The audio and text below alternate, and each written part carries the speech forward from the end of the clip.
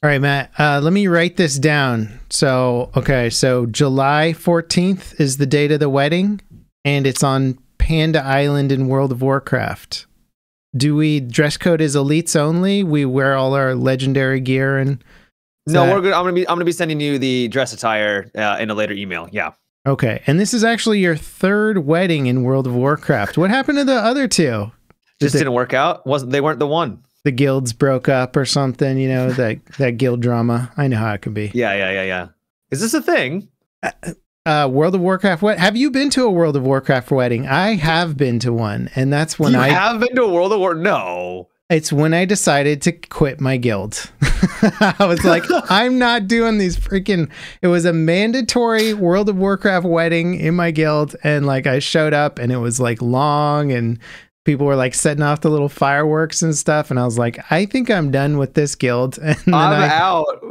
Yeah. so it wasn't an actual real wedding though. It was just a i don't even know to be honest. Like okay. I, it was so long ago that i don't remember if it was like actually celebrating a real wedding or if they were doing a larp in-game wedding and their characters were married i don't know but I quit and I started a stealth only guild, and all we did was troll everybody, and it was great fun. And I was like, this nice. is how I want to play WoW. But speaking of WoW, the reason why I bring up WoW, welcome to the podcast, everybody. Welcome to Level with me. The reason why welcome. I bring up WoW is because WoW was like, you know what we need in our long-standing MMO. The MMO of all MMOs is we need a battle royale mode, which just launched like last week, I think. Yeah, that was really surprising. Kind of, it literally came out of nowhere. I didn't know. I had not heard anything about it.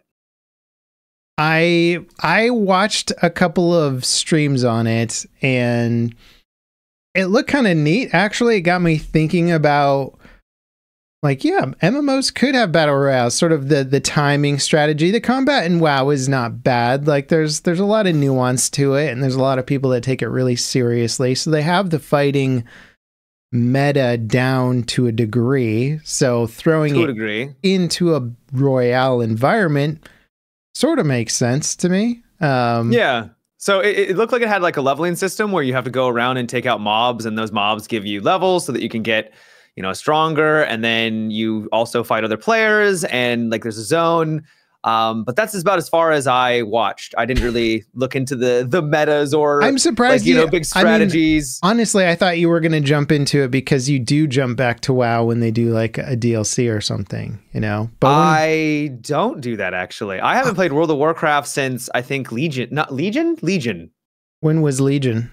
Oh, that was many expansions a pack uh, ago. Yeah, yeah, yeah, Okay, okay.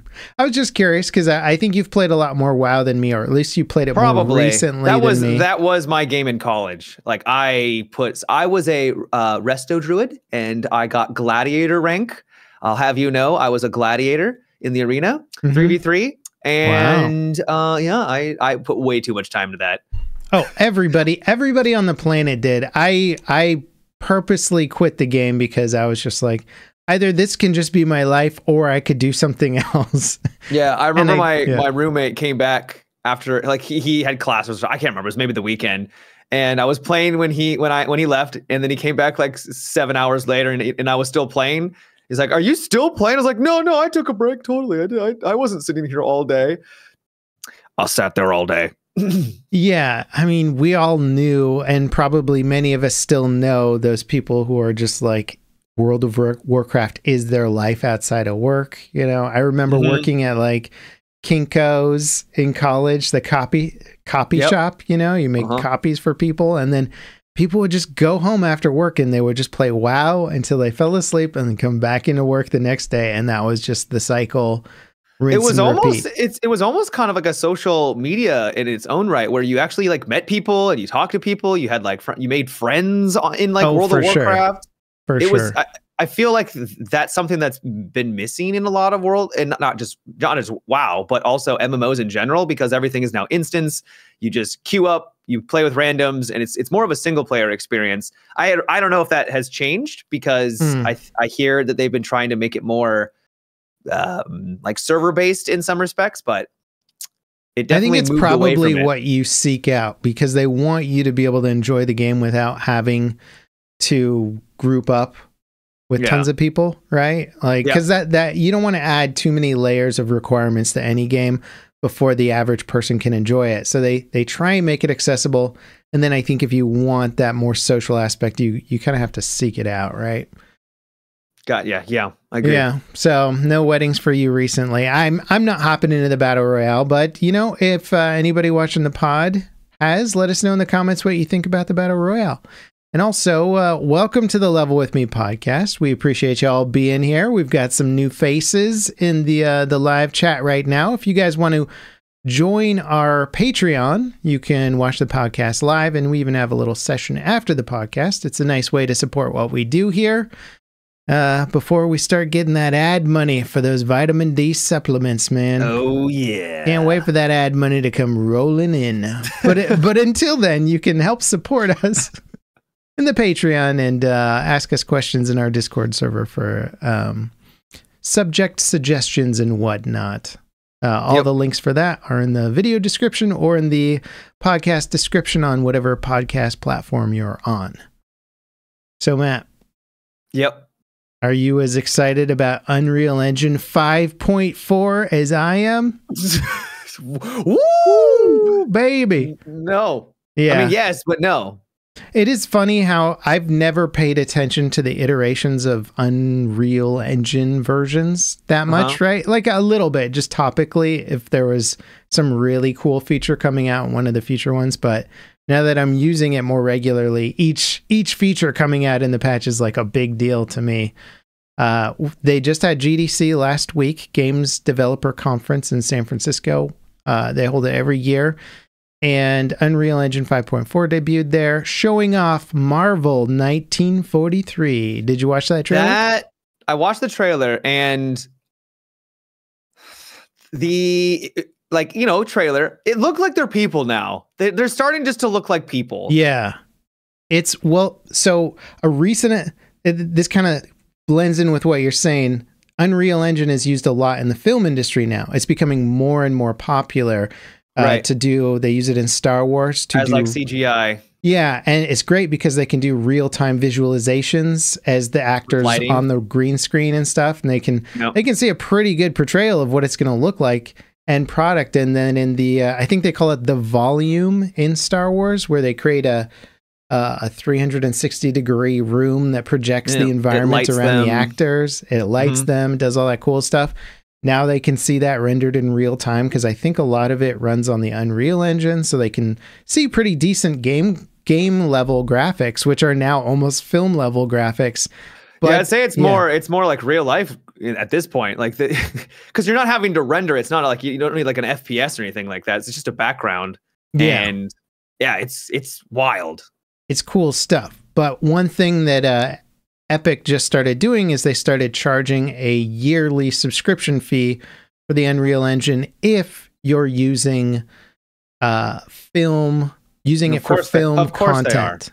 Well, it kind of makes sense because every linear editor system has some sort of pay or subscription fee or something behind Mm. it. And now that Unreal is becoming such a popular graphics options for film and movie and stuff, they're like, well, I mean, it's time to start charging the money. Luckily, it's still completely free for game devs uh, until you make a million like- dollars or Yeah, more, yeah. and then you got to cough up, cough up five percent, which I would argue is still pretty.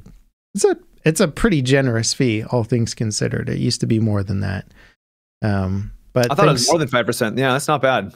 no, I think thanks to Unity, they really had to get very competitive with Unity, and so they just Well, because like, also if, if it's selling because it's five percent for them, and then it's what thirty percent for Steam, and it's like there's all there's there's other things taken away, right? yeah, yeah, no, the they nickel and dime you, and I think Steam is like after you make something, after you sell something crazy, it's like ten million copies of your game, they like lower it from thirty percent to twenty five percent. You're like, oh, you you shouldn't have Valve. You, sh- Oh, you man. really shouldn't have. surprised it's not the other way around. Yeah. Did you know that Valve um they did a study, it might have been back in like 2019 or something, but I'd imagine it probably still holds true. They make more money per employee than any other company in the world. Like wow, yeah, it was some obscene amount. It was like seven hundred thousand per employee or something like 700, that. seven hundred thousand per year. Seven hundred thousand. What am I doing? Yeah, I know. Well, I'm not smart, so that's pro- okay. Now well, you're not charging. You're not charging every game developer on the planet thirty percent a cut of their revenue. That that's what you're not doing. Insane amounts of money. What am I, I know. Doing? I what? Yeah, exactly. Uh, I'd say you should make video games, but you shouldn't because you you're just going to pay Valve thirty percent. Uh, so uh, so getting back to Unreal Engine five point four, the Marvel teamed up with them to demo five point four and all the new features, and it is stunning. Like Unreal Engine five has been showcasing some stuff that is just jaw dropping in general. They they debuted the engine with Nanite and Lumen, which are their new uh, lighting and high, high, high poly rendering systems. Now they're upgrading that with uh, Nanite seeing much further progression with all these super deep um, texture additions to Nanite topography and stuff. And they're adding in this new way of rendering clouds and smoke stuff that is far more accurate, far more realistic. It's really cool. And so they showed it all working in basically a Marvel 1943 demo level where a guy's just walking around it and showing off all the tech and oh i didn't realize there was an actual like there was gameplay of it. Yeah not gameplay but at least you know showcasing it in engine and not yeah. just a cutscene. Yeah of course and of course they went overboard with the presentation where rather than just some guy on a controller walking around they had a dude with a camera that was like tracking his 3d movement. So he was like he was like steady cam moving it into things and looking closely at the snow and all this stuff in real time. And it wow. was funny because everybody, as soon as they were like, "We're going to do this demo live," everybody was like, "Wait for the crash, boys!" You know, they're like, "Yeah, yeah, yeah." Did it good? crash? No, it didn't crash, and it looked great. Uh, nice, really impressive tech. I've just games are getting to that level where they really are. It's going to be. I don't know what the next five years is going to look like. They might just look like real, you know. Well, because there's a moment where they you look at um, the the actor for Black Panther, and there's yeah. there's glimpses where you're like, that's a person. That's not. Yeah. That's that's that's literally just a person. Mm-hmm. There's uh, there's another one that they were demoing with um, real time recording an actor, and then uh-huh. they convert it to the the the CG character in the game.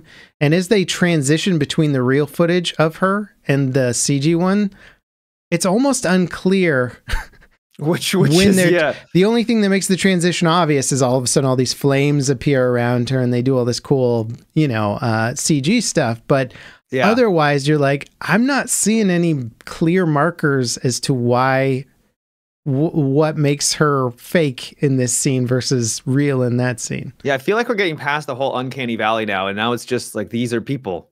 Yeah. Yeah, at least at least when you work with motion capture stuff. I don't know if yeah. we're quite there with animators fully faking it. No, or, yeah, we're not there yet, but we're getting we're probably not far. Close. Probably not far. Yeah. Mm-hmm. So that was pretty cool. I thought that was kind of neat from the the game dev perspective. Yeah. Yeah. So what have you been you have you played what have you been playing? Dragon's Dogma 2. Yeah. I, I want to know about that cuz from the outside perspective, we see the stories of the Steam. Oh, it's oh, it's hot bombs. right now. Yeah. Yes, it's hot. Which I do well, think, from my perspective, seems a bit overblown. Or, okay, good, because it kind of is. A little, or little at the bit, very little, least, little bit overblown. Totally unavoidable by the devs because. Yeah how much money are they really making off of for let's just catch people up to speed with some of the Dragon's Dogma 2 drama surrounding its launch?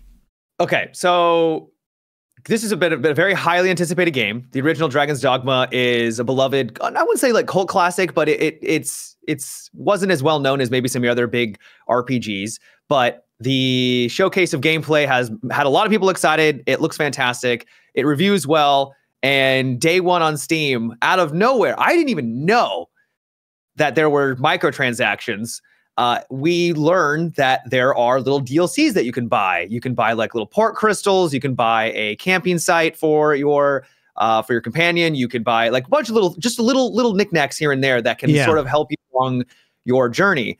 I literally did not know that that was in the game at all. And apparently there was like no reviewers that even mentioned it as well. And it just they might have the, likely the nowhere. reviewers wouldn't have known about it too. That's pretty common within the game world as well. I heard that some of them were told, but some of them also didn't look at it because they didn't want to get spoiled. Like sometimes they get like yeah. a review sheet to like let them know what's like in the game, and some of them don't read that because they don't want to get that to influence their their their playthrough, mm-hmm. which is somewhat of a you know you could you could have looked at it after the fact but whatever that's besides the point. Yeah um, well and um, also reviewers usually have like 10 games that they're working on and there's like true. 10 different pdfs it can get they, a little overwhelming. they don't always pay attention to every little thing. They're like you know what? I'm just going to play the game and give my feedback and not pay attention to all the other stuff in the fine print which yeah. I, you know is fair i think. So long story short it's a $70 video game and then all of a sudden out of nowhere seemingly nowhere microtransactions show up in your single player video game. Now, yeah. it's slimy. It is, it's gross. And some of them are helpful. Um, it the thing is, is that if I had not been told there was microtransactions, I would have probably never have expected there to be yeah. anything to assist you. It was like the game doesn't really feel like it's pushing me to buy the microtransactions, which is really nice, right? Yeah. Which is what you want. Yeah. When you um, die, it's not like go buy a five dollar revive vial or something. Right. You can't while you're in game, you can't even buy them. You have to literally go to the Steam page to be able to pick them up. And most of them you'll find in game, no problem. I think there's like one or two things that you literally cannot get in game just by playing. Um, so it's not like it's all like you can do in game, but for the most part, it's pretty unobtrusive. I think the reason why people are so upset by it is it's a slippery slope. Right? Yeah, this it's, is a preview of what's to come. Essentially, yeah. they're like, let's this, start them off easy mm-hmm. with some some fairly benign things, but you know, next year or whatever, single player games are all of a sudden going to have microtransactions, which is like, oh, Sorry, you wanted to play Yoda in the new Star Wars game called Yoda's Revenge or something? Yeah, that's going to be another. That's the game I want. Yoda's Revenge. You know, you would play Yoda's Revenge. I mean, I would. Everybody would play Yoda's Revenge. Absolutely. Revenge. But yeah, and, and then they're going to be like, oh, uh, you wanted uh, Mace Windu's purple lightsaber? Sorry, you got to pay the five bucks for his purple lightsaber. You only get, you know, green or some crap. Yeah. The so the fact that it's even here is what is just feels really slimy because and this is Capcom so and they've done this in, in the past with like Resident Evil. They have this is not the first time they've done microtransactions in a single player game and it's always felt gross back then too. But this just really I feel like it just hit different because people just were not expecting it and some of them are helpful. And I know people are saying that they're like people are overreacting and I think they are overreacting. Yeah but it is that like slippery slope and it's that slow like push they just keep pushing the boundaries and pushing the boundaries yeah. and sometimes they go too far the the big push was for uh, uh battlefront battlefront 2 that mm-hmm. was like where yeah. gamers were like you're going way too far and then there was a big backlash and then, then it, it there was a there was a, a halt but remember you know what 2015 years ago horse armor people freaked out about horse armor and now literally that's everywhere in like yeah. microtransactions so there is this slow creep it, it does happen it happens it, the pioneers yeah. with it get the backlash because they're yep. they do it first and then people slowly just get used to it it sucks and yep. it's part of why i actually do support these massive backlashes because while I think Dragon's Dogma 2 is probably, and you can tell us in a second, is probably a pretty cool game, uh, having this kind of review bomb backlash that hurts the sales sends the message as to like, hey, you guys want to add some slimy crap to your game and try and make this an industry standard, you're going to lose money. So you mm-hmm. pioneers mm-hmm. are going to take a major hit to your sales because guess what? I see the reviews and I see the massive negative reviews. I'm going to think twice about buying the game now. And so without question, they're losing sales because of messing with the microtransaction stuff. So I hope it sends a message to other devs to back the f off with your right. MTX stuff in your single player yeah. games. The problem is that single player games are the they they're a complete financial loop because you don't have to run most of them you don't have to run a server Servers. on the back mm-hmm. end so you don't have all these overhead costs which is what what a lot of live games are trying to do they're trying to not only pay for their server fees but make continuous revenue so they can keep updating the game a single right. player game makes the money on the sales hopefully they make enough to make a sequel or some DLC or DLC, whatever yeah. but don't don't make it a continuous revenue stream which is what they're all heading for but I just don't. I hope that enough people fight back against it because we don't want it in the the single player is just it's a complete thing. Leave it at that. We don't need the MTX crap on top of it. Yeah, no, I I do agree. The one thing about the microtransactions that I how much did you buy, Mat?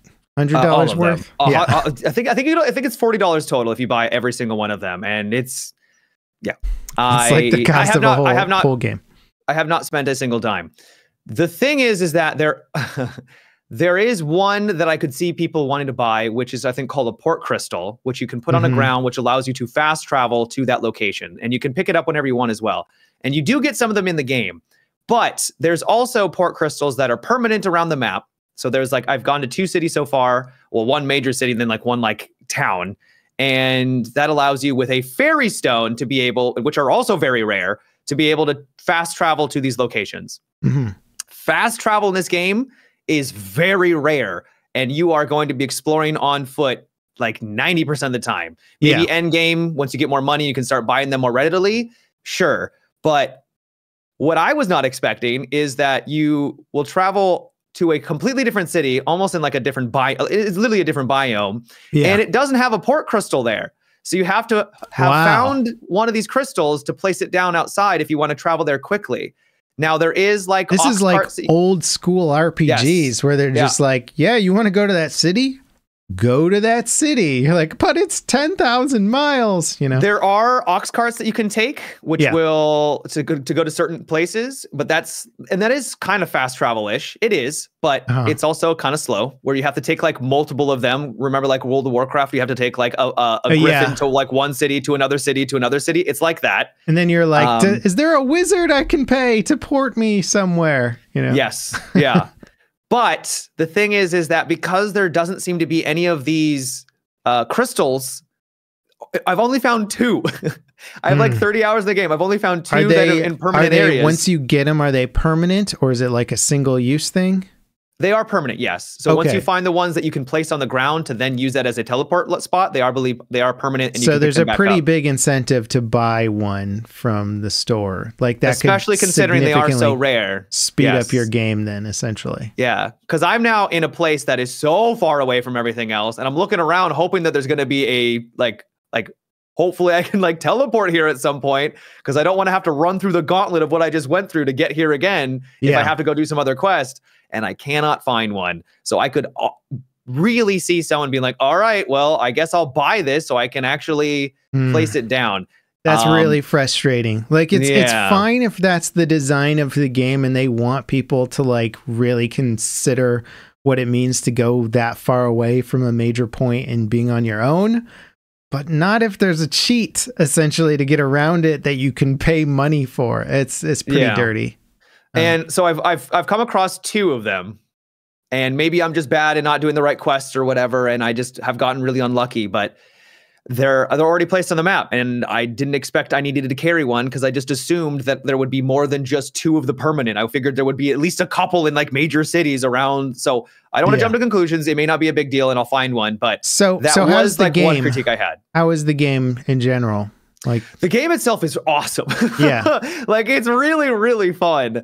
It reminds one of my favorite things about Elden Ring was the sense of exploration and, and stumbling across uh, a, a dungeon and then all of a sudden you're going down into a mine and you you come across an ogre and you take out the ogre and it's like that is such a gratifying gameplay loop. And then once you we're down there and you defeat the boss, you find a new weapon or a new piece of armor that makes you look badass. Like that gameplay loop resonates with me like no other. And it does a really good job with that. Cool. The combat is also really varied. There's 10 different classes and all of them they, they share like some similarities in like how like the flow works, but like you got a ranger, thief, warrior, fighter, and they all play pretty differently from each other, and they're all very satisfying for the most part. Yeah. Um, so that's been really fun. Did you kill uh, a knight and or uh, an ogre and make it a bridge yet? Did you do that? I have not made it a bridge, but I did knock an ogre over into like the water. Yeah. Cool. Yeah. No, it's and it's cool because like they'll start to tip and you're like, oh, they're tipping. And then you can so as a thief, you can like lash on like a rope and then pull them down. Nice. And yeah, it's it's the the physics is incredible because they'll also interact with the environment. So if you push an ogre like into a wall, it'll hit the wall and it will like kind of crumple backwards and scorpion a little bit because it's interacting with the world. that is, is so really cool. cool. It's yeah. funny because you normally don't think of fantasy games as like being technologically impressive. It's more about narrative and, you know, showing off some cool particle effects and stuff with spells and whatnot. But having the idea, ogre physics as being like a major selling point for uh-huh. a fantasy game is super cool. And even I, I saw yeah. the trailers and I was like, dang, that does look cool. Like, I'm not really much of a fantasy guy gamer, but I see that and I'm like, oh, dynamic ogre physics. Like, yeah, sign me up it all feels really organic too because I there's there's griffins and I think it's like all throughout the trailers and you fight like there's a griffin fight and griffin a fight. lot of a lot of them will fly off. Yeah. And you can latch onto the back of it. But I had this incredible battle with one. Didn't actually kill it because it was able to eventually fly away. But I, as it's trying to fly away and flee, I grab onto its back and I just start like wailing on it as it's like soaring. And it takes me so far away. I mean, like it's cruising. My pawns are running after me. Then I take it down, it falls to the ground. We have another battle, and then it tries to fly away again. I grab onto its tail as it's le- like as it's soaring up. I jump and grab on, climb on, and then it bucks me off. But that entire engagement I've never experienced in a video game before. That is and so cool. It is really, really cool. Yeah. That's that's what I think you sort of imagine the future of games to be when you're a kid, right? So mm-hmm. so I had the the future of space gaming, right? But if you were a fantasy gamer, this is what you would have thought about for fantasy games. Is like, what about a game where everything was interactive and dynamic and it wasn't preset to do all these things and just mm-hmm. depending on what I chose to do, crazy things would happen and we wouldn't be bound by all these invisible walls and rules.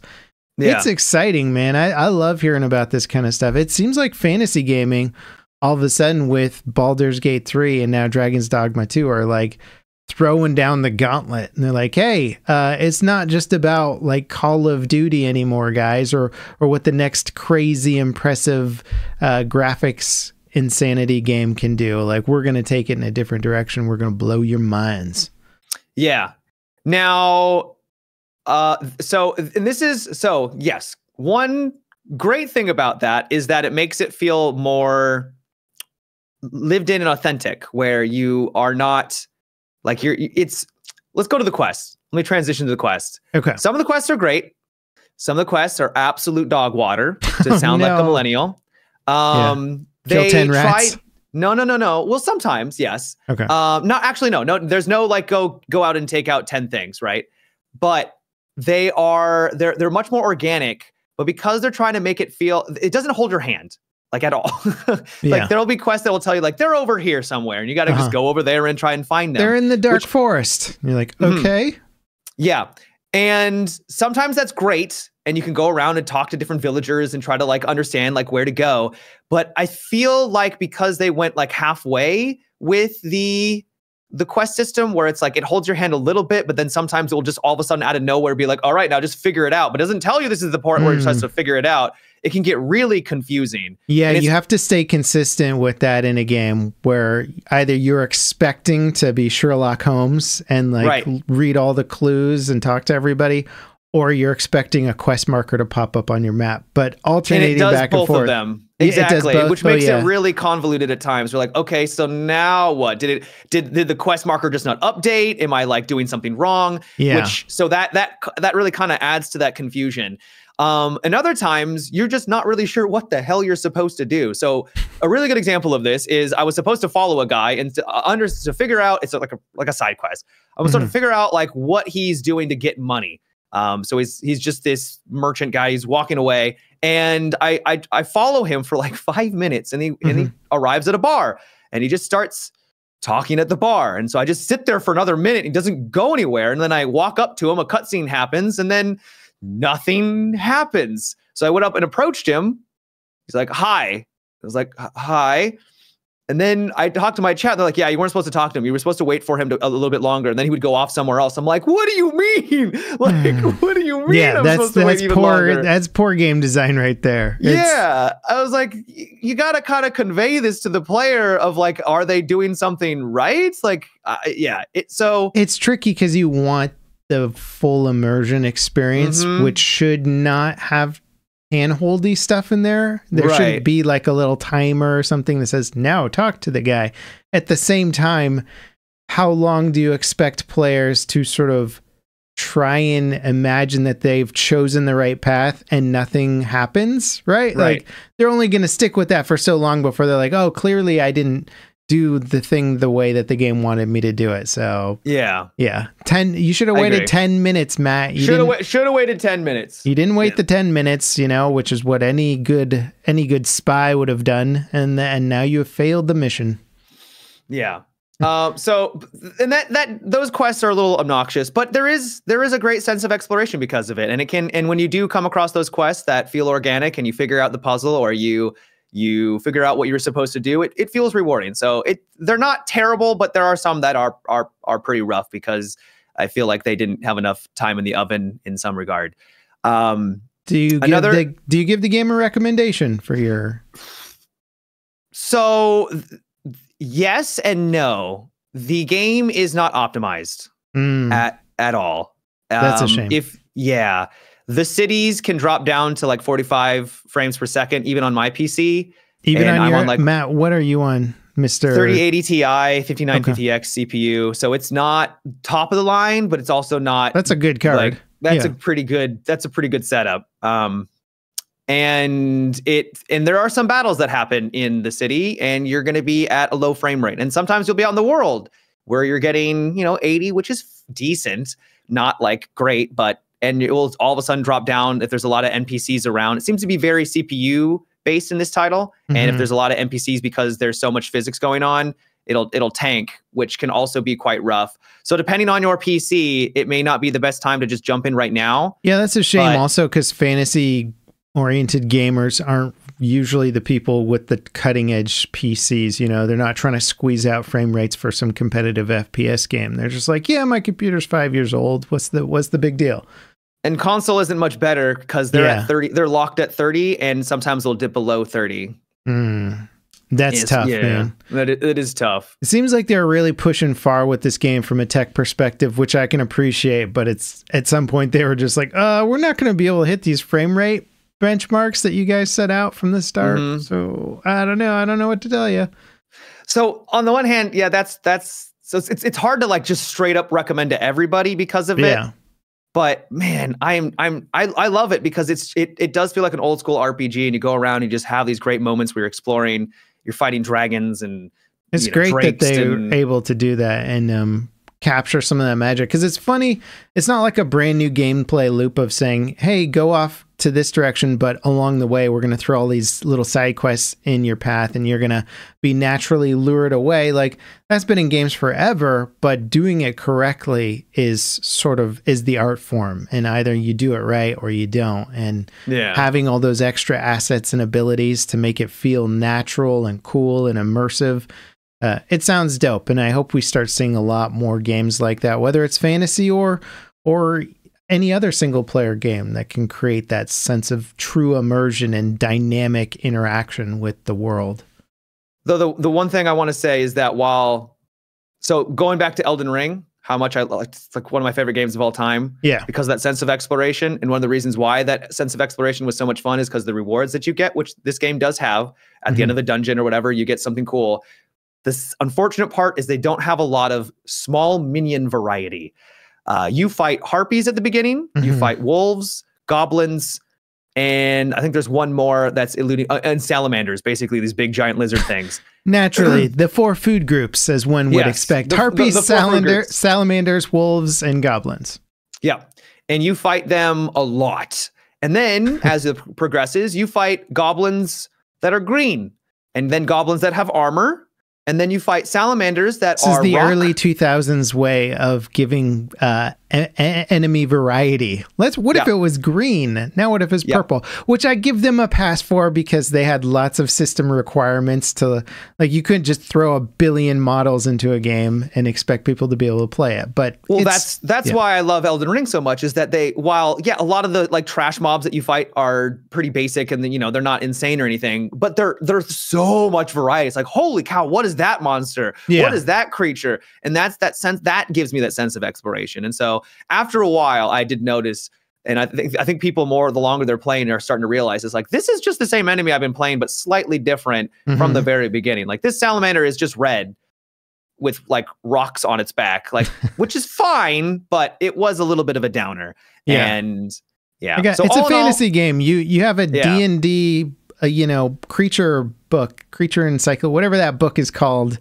It tells you about all the monsters in D and D. There's like a thousand things in there. Just go in and Right. pick some more. You know. Right, right, right. So my overall, it's not a review or anything like that. Game is fantastic when it works. The low frame rate sucks at times, but man, that sense of exploration and the boss battles and like the the dy- the dynamic physics and everything like that is such a great selling point. So it's not a hard recommend because of the weaknesses of like quests and maybe variety for some people in that in that frame rate. But if you like RPGs and this is something that you're into, you're, you're probably going to get some enjoyment. Yeah. All right. That's entirely too much fantasy game talk for me. I need to. Oh, I need to throw in some Star Citizen just to like, oh God! just to calm Let's my go. nerves. Just Okay. to cleanse, just a Ah. nice, a nice purge. uh, for everybody here who, for everyone here who's like, please give me some like some FPS or some sci-fi or something, man. Uh, I won't keep it too long, but Star Citizen conducted a test over the weekend that is oh boy! possibly the most important test that they've done for the game just about ever. Okay. Uh, remember all that cool server meshing tech they were demoing at CitizenCon that even you I were do. like, damn, that looks cool? yeah. They demoed three small rooms with a couple of players in them, transitioning, and each room represented a server. And players could seamlessly transition from one room to another, and there would be no visible indicator that you had transitioned from one server to another. Like And no you could- stutter or lag or anything. Yep, That was just you could shoot cool. across it. You could pop the tire of a vehicle on the other side of the server with your gun. You could jump midair. They crashed it and recovered the servers, uh, and everybody came back where they were. Very cool test, but it wasn't at scale. They were showing it in three small rooms. Well, right. The test over the weekend was at scale. They server meshed the entire Stanton system, and planets were on. I don't know if they were on one server or multiple servers, but they were on different servers than the space server, the space around planets. Wow. Okay, So as okay. you went quantum traveled through space to a planet, you would then switch servers seamlessly. Uh, and then go down to the planet. It was not quite the seamless. seamlessly the the the quote thing makes me a little scared. it was very it was very close to being a fully seamless experience except for the systems that they said they had not migrated yet to okay. properly properly do it um, heads up display stuff would sort of turn off and then turn back on uh, Ah. You couldn't target somebody across servers with like lock on targeting for spaceships Okay. and I believe you would also lose, or there were there was issues with the quest system between servers, which they said they hadn't figured out yet properly. So they were still working on, which honestly sounds like the easiest side of server meshing. Yeah, you I would, think you would assume so. I think they just haven't done that because they're like, we'll get to that when we when we figure out the hard part. Get but the foundation down.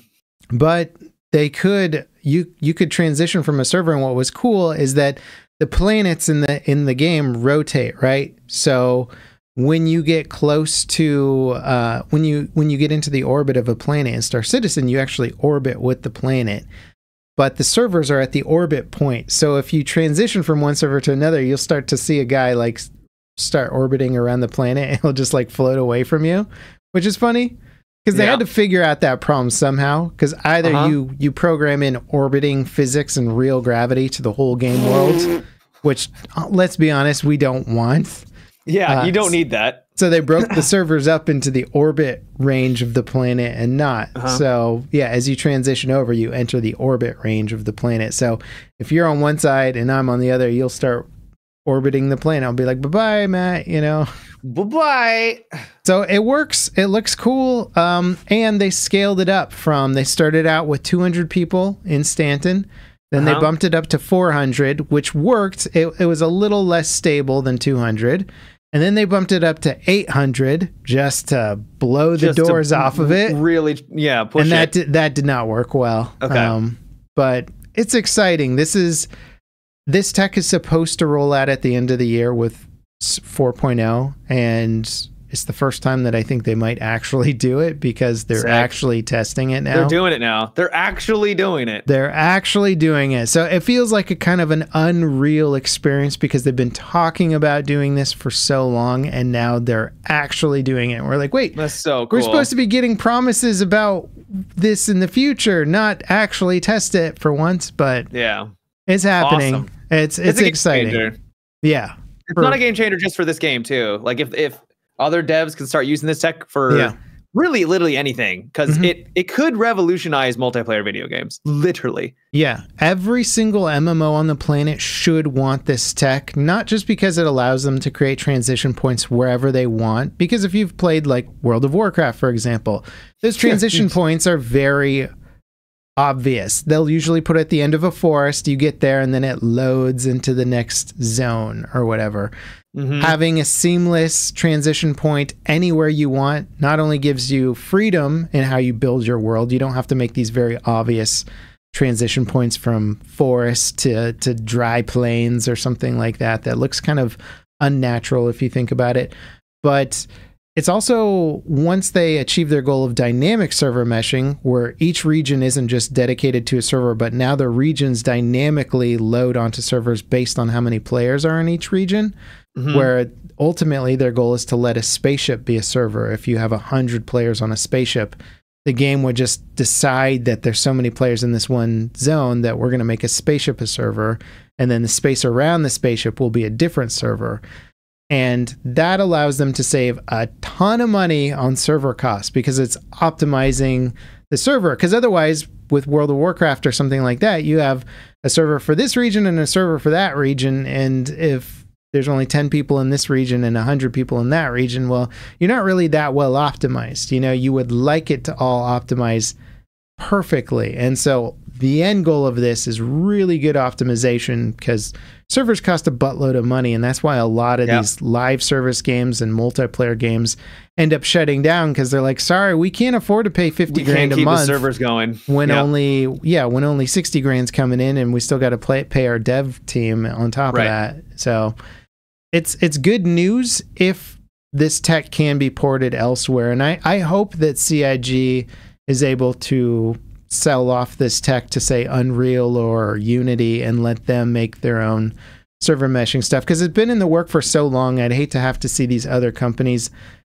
develop it on their own. In addition you're like yeah you've already we've already done the work. We've already gone through the pain. Like let's share the technology. Yeah. No yeah. i hope that they would too.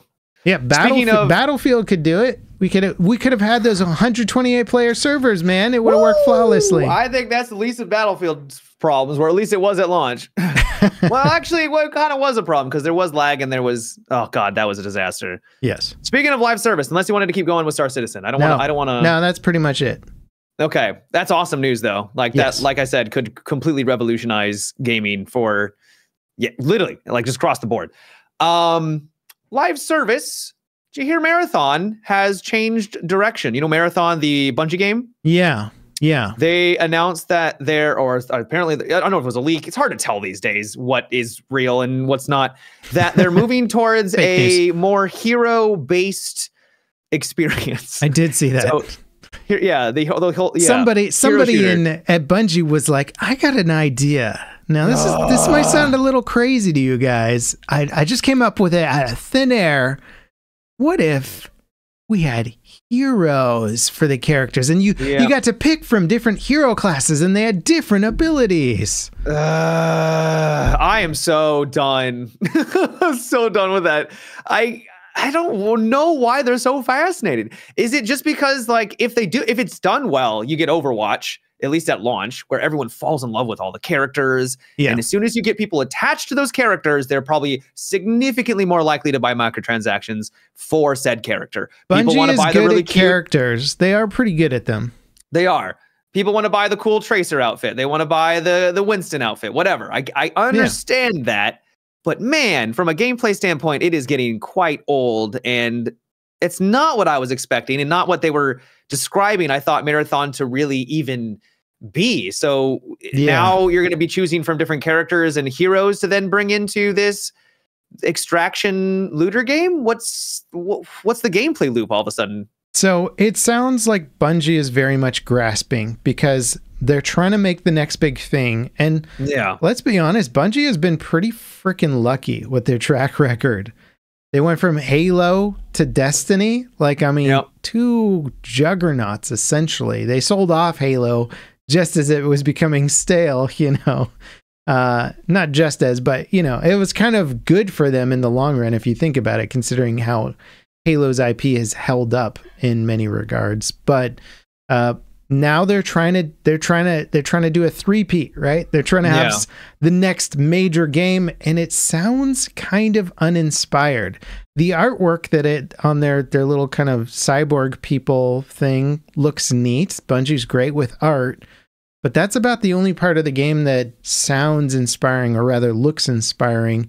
There was some behind closed doors playtests and I tried to get information out of people who went there uh, those NDAs sounded pretty scary. None of them would talk to me. yeah, no, I don't blame them. But from as the they, as they shouldn't talk to you, level cap.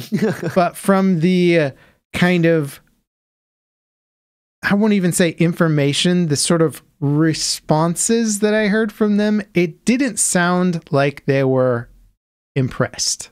It sort oh, of no. sounded like it's a game and we'll see type okay. reaction. So that's about all I could kind of decipher from those people. But um, I hope that they can make a good next game. I don't want I Bungie's do, next game to fail, but them sort of throwing out firstly extraction battle royale type vibes. You're like, okay, uninspired. You're just following the trend. Then throwing right. out hero classes. Okay. Yeah. Following the trends. Yep. Where's the thing that makes your game cool, unique, and different? Because even if Destiny wasn't the most creative game ever, it did do a new thing. It did take an FPS and turn it into sort of this RPG style game, like successfully. Right. Which which was kind of unheard of and a lot of people weren't with it because we're like what? This is a fantasy game. I don't get it. You're mixing genres. And it's not what i expected and i didn't like it. And then it exploded and was super successful. I'm um, actually surprised that destiny was as successful as it was at launch because. I know it was Bungie, and I know that that initial, but like people look back and they're like, "Oh, Destiny One was better than Destiny 2. It's like, do you remember Destiny One at the beginning? Yeah, because I do, and it was rocky. It was very rocky, and they didn't have like end game for the longest time, and it is surprising and there was, and there was no story, and there was a lot of false promises that weren't delivered. I remember them saying like, "You see that mountain out there, or you see that, you see that, uh, you, you you're going to be able to go out there and travel." It's like, and that just was not in the game I at think, all. I think Bungie just muscled their way into success because kind of did a little bit, yeah. Bungie has so much clout and the marketing for Destiny was really good. Like it, it, was, it was solid. You had Peter Dinklage in there and all that stuff, and like even the bad stuff about it became memes, and people were pumped. I mean, like it was a whole phase of gaming where people were like, "Oh my god, Destiny's going to be the biggest thing ever."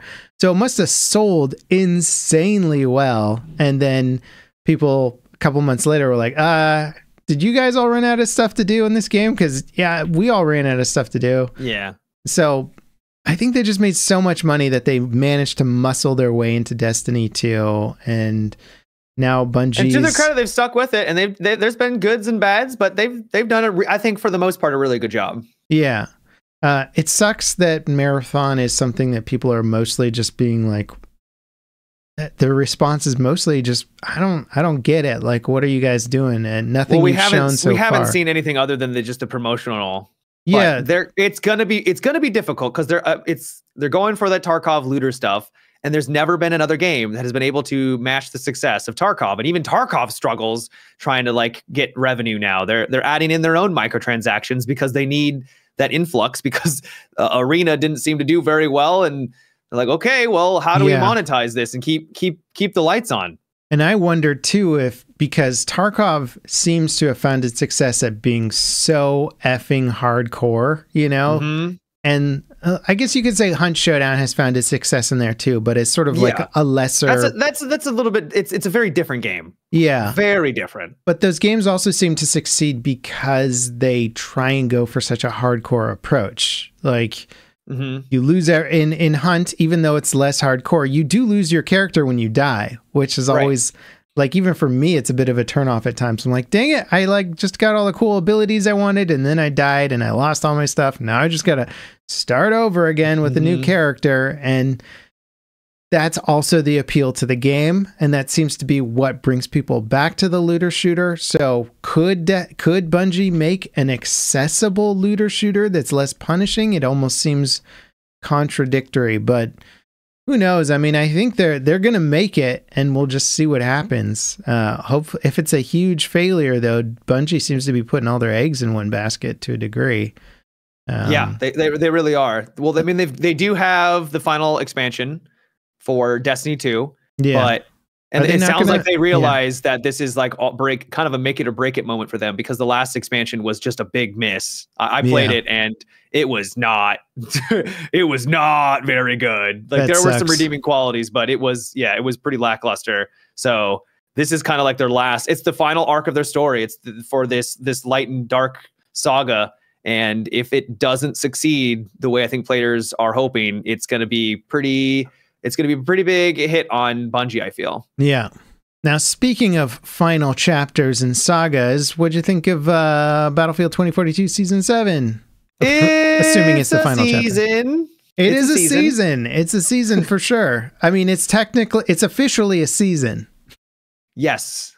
And it's it's fun. I, I, I enjoy the game. Uh, the recoil changes don't seem to be as severe as I thought they were going to be with the visual recoil. Yeah, they they still feel solid. I barely noticed it to be honest. I barely noticed it too. Weapons feel a little bit more punchy, which is things I think what they were going for. They wanted to make it feel a little bit more, you know. They like probably meaty. shouldn't have mentioned visual recoil at all uh, yeah. in their little thing, and just being like, "We tweaked the weapons a little," and not mentioned it because they got so much flack for saying visual recoil because the, the history with dice screwing up all right. their weapons all the time. And and I feel like they kind of maybe didn't deserve the flack, but I, I they the player base has been rightfully so conditioned to not like visual recoil because it sucks. It, it's yeah. not great for an FPS, and if you go too far with it, it completely ruins like any yes. any sense of being able to aim properly. Dice has a long storied history of screwing up their weapon balance.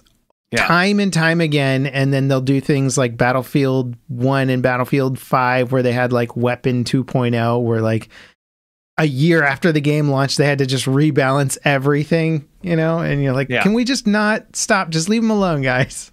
Yeah. It's good enough. Stop touching it. The map, I can't even remember what the map is called. Yeah. Is it reminds me of Arica Harbor from yeah. Bad Company 2, where it's got like this terrace system where it's got a bunch of different levels and all the buildings are even from literally They're, Bad Company. Exactly 2. the same. I'm yeah.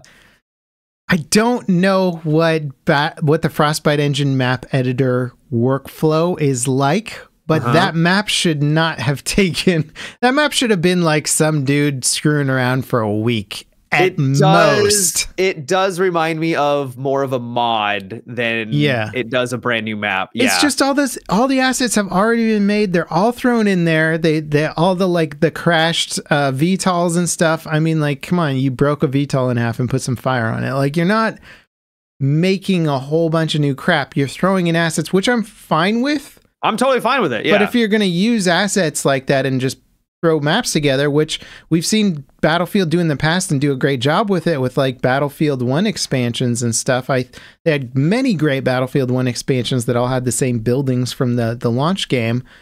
But if you're going to do that, give us some more maps rather than just one little one. favela or, type. Well, we map. are getting this. We're getting the stadium to return.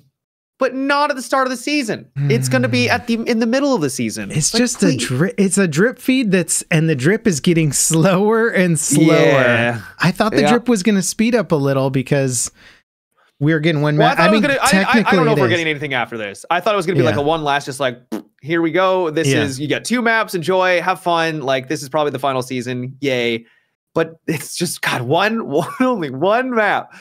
I, I hope that changes. the, the map isn't bad. I don't, I don't I think, think that the map is fine. It's fun, and I think it would yeah. have made a perfect like one of three or one of four. Yeah. Ma- it could have been the smaller of like a map pack, right? Because mm-hmm. it is mm-hmm. a pretty small, quaint, like it's your infantry, mostly infantry focused map. Yep. Cool. It plays well. It's fun. It's neat. It it doesn't do anything crazy. And then you have the big crazy map in addition to that, and then maybe a medium hybrid map. But it's just yeah, it's it's so little to try and burn through when a new DLC comes out. You hop on and you're like, "Oh, are we just gonna keep playing this map on repeat?" Like that's what I did. Yeah, it's it's rough doing that, man. It, it's not fun.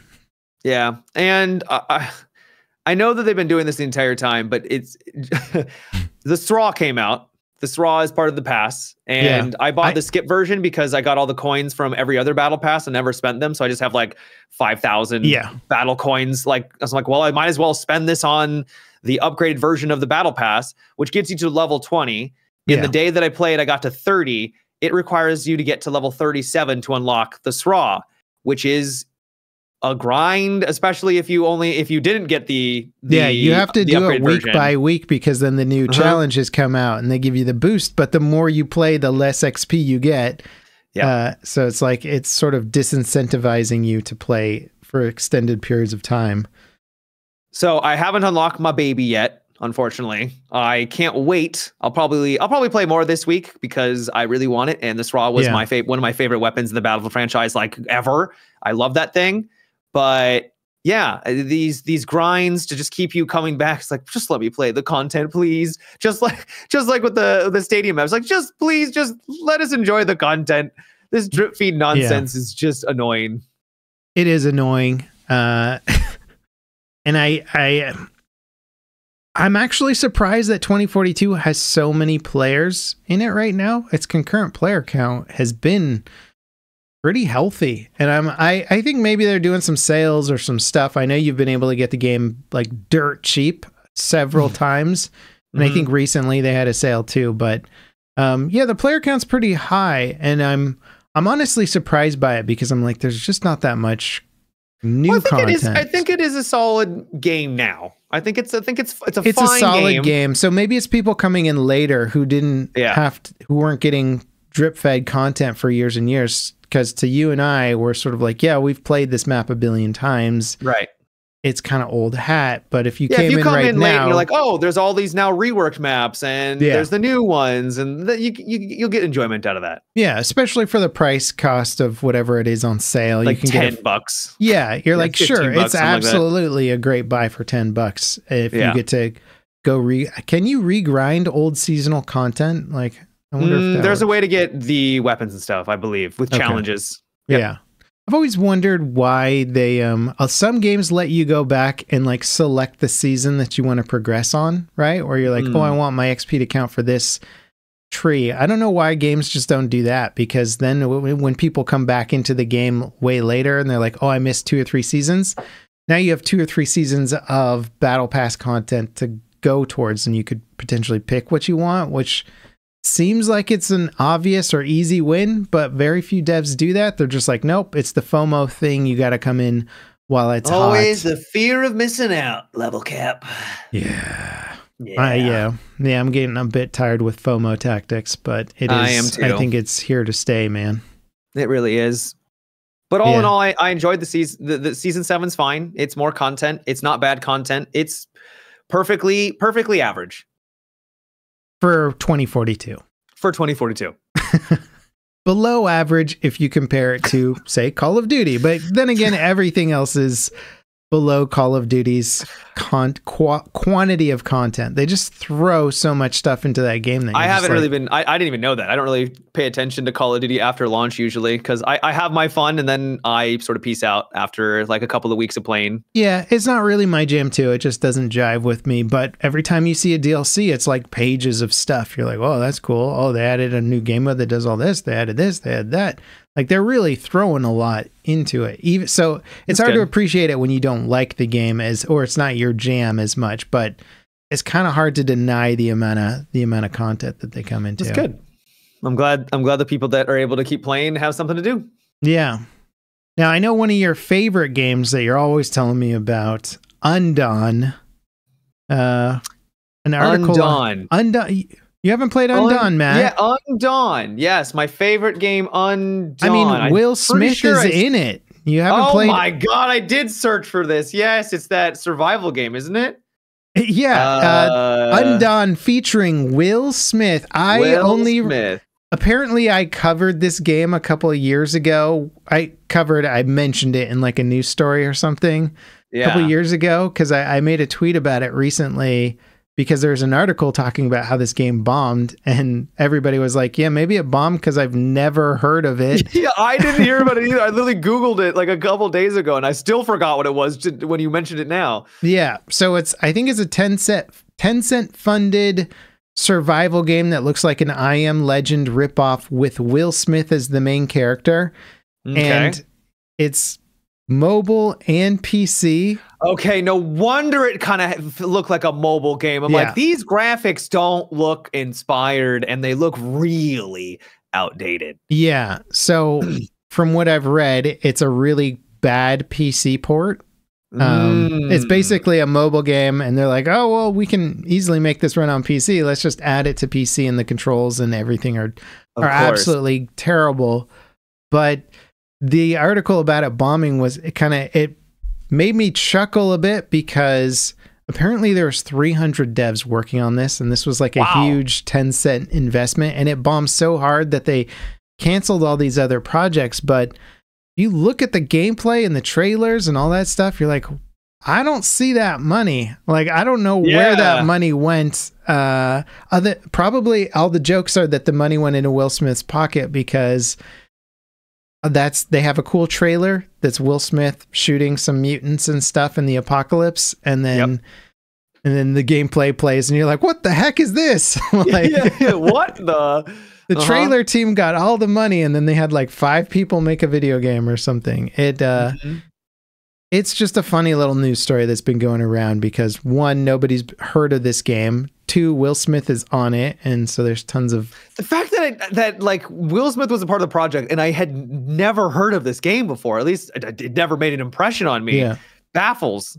I mean, Will Smith is legend. He is legend for constantly investing in the dumbest, weird sci-fi projects ever. Like, I'm okay with it though. Give, give, give me the weird, dumb side, you know, sci-fi. When was the last time you liked a Will Smith movie, Mat?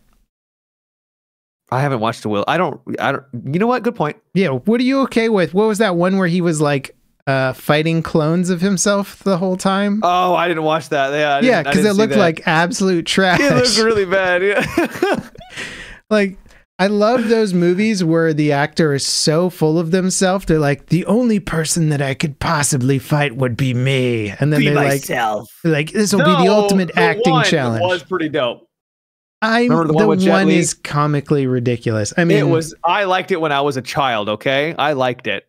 Yeah, back when that was back in the era of when people like would go to the movies to see a dumb action film. You know, mm-hmm. uh, back when you're like, yeah. yeah, sure, I'll just what's in theaters right now. The one, let's go watch that. Oh, it's Jet Li just punching people and kicking them in the face. You know. Yeah. Good times. Good times. So, uh, what uh, what stuff have you been watching lately? Well, I finished off Masters of the Air. Yeah. And uh, I cried at the end because they show all like the, uh, the the the actual real people. And yeah. I, was, it, I got really emotional. I was like, oh my God, I feel like I've been traveling through this hell with you. And yeah. to see that you made it and you like had lives. I'm getting emotional thinking about it right now because it was. I really, know, dude. Yeah, it was it was heartbreaking, but also like happy at the same time because of all like just what they went through, right? So that was fantastic. I really enjoyed it a lot. Uh, I felt like it was a little slow they like it it's you know it was it's war. It's it's awful right? And it's not always it's not glamorous. It's not glamorous at all. And it's it's the slow you're just marching and it's awful. And mm-hmm. so it was it was pretty slow at times but i love the i love the people the character i was gonna say characters but they were real people. Yeah. And i highly recommend it. The other show unless you wanted to unless you wanted to discuss more on that. I think we've talked about it quite a bit. I recommended it like last podcast. Yeah. You've uh, go watch Masters of the Air if you have the opportunity. It is mm-hmm. up there as one of the best World War II shows ever made, right next to Band very, of Brothers. Very well done. And the Pacific, which was also great. Yeah. I then also binged uh, the Three Body Problem. Have you heard of the Three Body Problem? The uh, it's a threesome, basically. Like, no, who do you no, spend the no. time? Are you them or the other? No, no, that's not it. No, okay, no. So it's also it's it's sci-fi. Yeah. Speaking of, and I've, I've heard of it, but I have no idea what it's about. Okay, I don't know if I want. It is the weirdest. So it starts off kind of like a, a, a murder mystery where you're like, oh, okay, kind of gruesome. Like there's people dying and you're not really sure why. And yeah. then so the, the the first couple episodes I felt like were really strong because it sets this premise and you're like, it, there's the mystery behind it. You're like, what's going on? And I love mysteries. And there's like some sci-fi in there, and like what is causing mm-hmm. these things to happen? And then they tell you why these things are happening. Like, oh, that's really cool. That's interesting. And then it sort of peters peters out um, mm. at the end. And I still recommend it for people that like sci-fi. And so th- the season's over, and I enjoyed it. And if they go the direction that they're going, I'm excited for the show a lot because I think it could potentially do some things that like a lot of sci-fi do not do. And that's exciting. But there are some really bizarre like choices and character decisions and things like that. It's it's a little CW where you've got a bunch of young people or that look relatively young, like in their like maybe early 30s, that are apparently some of the smartest people in the world, mm. like hmm. physicists. And you're like, this is kind of hard to believe that you're. are they I all mean, not, super hot by any some chance? Some of them are like, yeah, gorgeous, and yeah. not, not, not. It's not like they're all smoke shows or anything like that. It's not. It's yeah. you know, but they're all fairly young, and they don't really, really establish in showing them why they're the best of the best when it comes to this. You know, why they're so smart.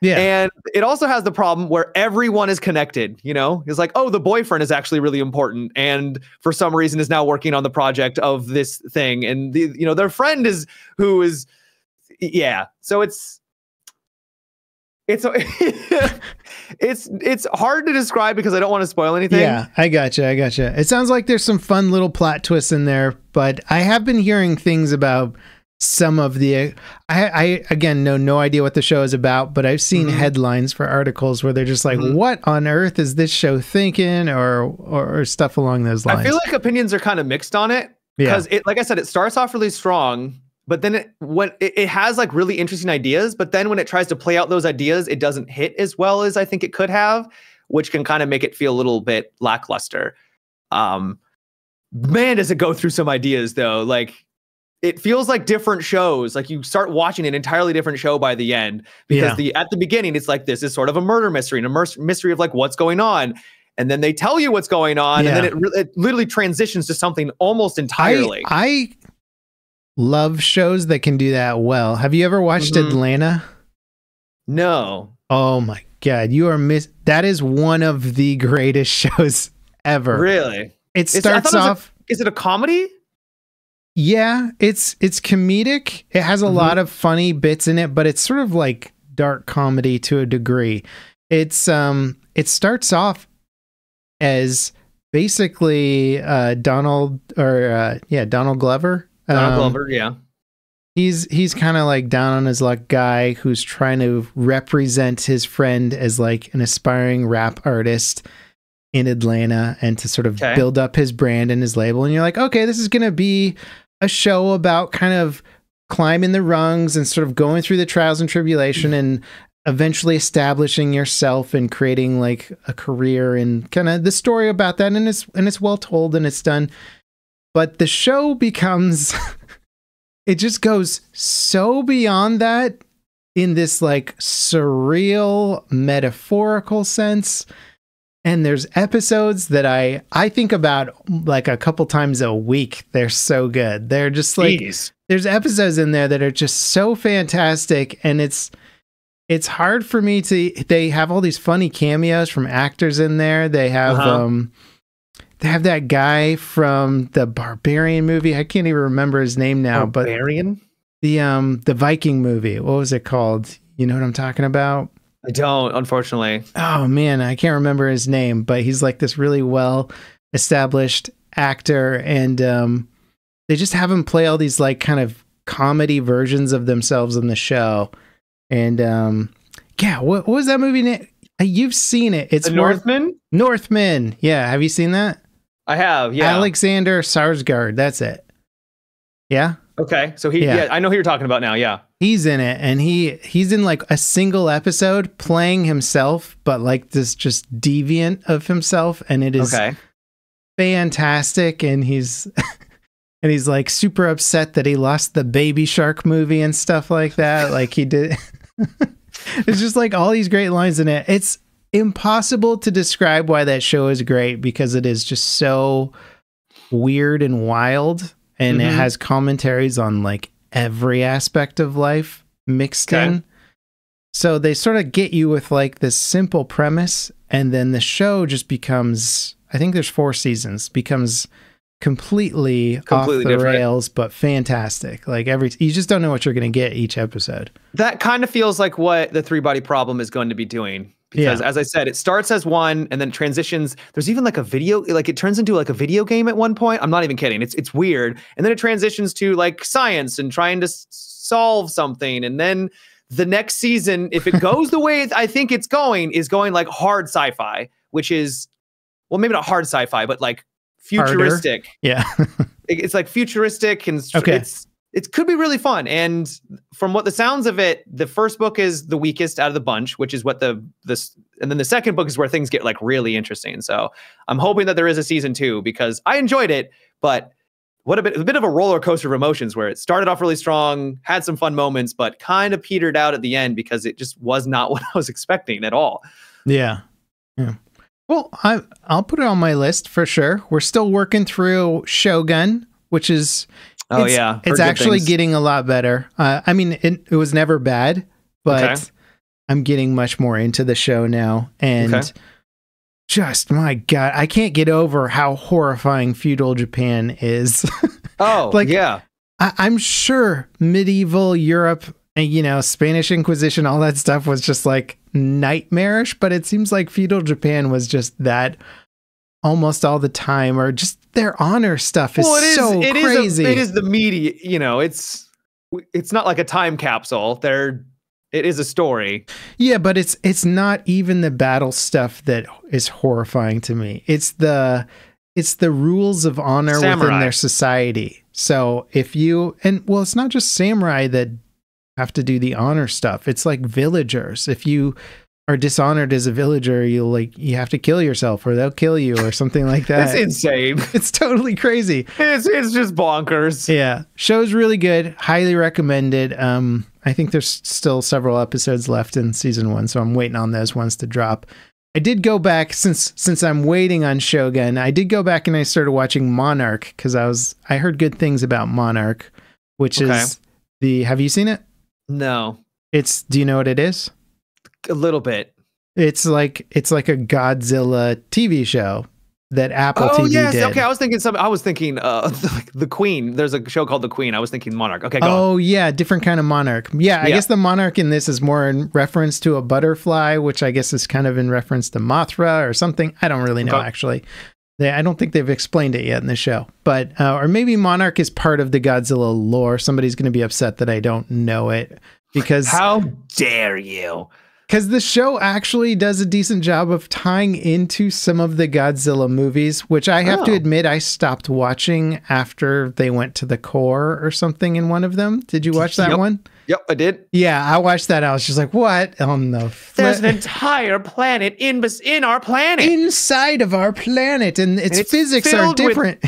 with giant creatures like and we're monkey. gonna fly through it with some dumb spaceship thing that we have for some reason yeah. and my god was that that movie they're just fun dumb like it hitting was. things with giant creatures they were yeah, fun I, but that's where i fell off that's where i yeah. fell off because there was the the one that had like bryan cranston in it and it was like taking godzilla more seriously and i I was kind of on board for that version of Godzilla. I was like, this is uh-huh. cool and interesting. And then there was that one with the core where it's just like going the fast and furious route with Godzilla, where you're just like, I don't even, anything could happen in the next scene and it would be totally, it would fit in with all the insanity that's been happening so far. Yeah. But Monarch is is kind of taking a fun, more serious, a little bit lighthearted, but a more serious approach with it. And it's good. I'm enjoying it. It's tying the movies together. There's it's kind of getting into this sort of secret agency that's dealing with the monsters and researching them and trying to predict the attacks and stuff. Um, I'm I'm not through it yet, and I know it's kind of old hat at this point, but I I have been enjoying the show. Perfect. Yeah, I'll have to check it out. Yeah, got great CG and giant monsters that come out of the ground and tear people up and stuff. You know, what's what's not? That's like? what I'm looking for. Yeah, yeah. yeah. any um, any any anime or anything like that that you've been watching? Not not too much. I finished off the book that I was reading, The Dark Age, which was the fifth book of Red Rising, and okay. I loved it. It's probably one of my favorites, but the original trilogy, I think I've, ta- I've talked about this book before. And the original trilogy is one of my favorites, and I always recommend it to anyone because it's just fantastic. Okay, so Red Rising is a is an original trilogy, and now they're writing yep. more books to it. Yeah, so it's ten years. So the the series now is there's three books. I think there's gonna be one more after the original trilogy, and I always recommend the the original. This one that's ten years after feels like it grew up ten years, and like the original is brutal at times. This one is in your face with the brutality. And yeah. I always, like I said, always recommend the original trilogy. I do not recommend this one to everyone because okay. while I loved it, it is, if you're squeamish or you're younger, it is not. It's, gotcha. It's, it's, it's yeah. Is it like Game of Thrones brutality? Yes. Yeah. Actually, further, honestly. Dear God. Almost to the point where I'm like, there was moments where I'm like, okay, author, okay, okay, Pierce. I think his name is Pierce Brown. This is this is getting a little bit too far. Like I, well, I, I mean, like because Game of Thrones with like cutting off the dude's thing and all that. Like, is it that level of just? It's it's yes. Damn. it's no. There's moments like yeah. where people are. I, I don't want to go into you know because we're okay. on YouTube too. Yeah, fair um, enough. But it's not it's it's just like people doing horrible things to each other and it all makes sense within the world that he's created and it's war at a like a really large scale and so there's going to be horrible things that happen and it all feels true true to life and and there's nothing like but sometimes it's just like okay dude you don't need to describe like either minute details of like how bad this yeah. is cuz I do have Red Rising on my radar and I'm going to I'm going to probably do an audiobook of it as soon as I like think about as soon as I have a nice block of time to audiobook something. Yeah. I'll get so I into still it, recommend man. I still recommend this like the book because it's like I said, it's one of my favorites. Like I love the characters. It feels very real, but I can't recommend it to everyone anymore because it's just it's very adult in that sense. Gotcha. Well, that's cool. That's a good recommendation. Um, mm-hmm. I want to tell you about F1, but I think we should do it in the post podcast show. Fair I'm ex- enough. I'm excited about the season. Uh, some cool stuff happened in the last race. But uh, yeah, if you guys enjoyed the podcast, check us out on Patreon if you want to come watch the shows that we record live on Mondays, and then you get to come to the after show thing. Also, the the links for the live stream are posted in our Discord, so anyone who's a Patreon member can come by and watch the after show discussion at a later time if you wish. And um, Mat has some valuable advice for all of us now that I'm My valuable advice about. today is if there is someone in your life that you appreciate, let them know you appreciate them. Give them a hug. Tell them you love them. I appreciate you, That's Mat. my advice. You know what? I appreciate you, Level Cap. Thanks for being my friend. it's good advice. That's, it's good advice. advice. Sometimes we sometimes we we take it for granted or we just assume people around us know that we appreciate them or how we feel. And you know what? It's always nice to hear it, right? It's it a is. good mood it booster, nice right? I don't think anybody mm-hmm. doesn't enjoy being told that they're appreciated, you know? Yeah, no, guaranteed. If you have a friend and you're like, hey, I appreciate you, they're gonna be like, oh, damn, okay. You know, I appreciate you too, bro. Yeah, it is wholesome. It is wholesome. All right, guys, thank you so much for joining us for the podcast. We hope you enjoyed it. And uh, we'll see you next time on Wednesdays as usual. Peace out. Take care.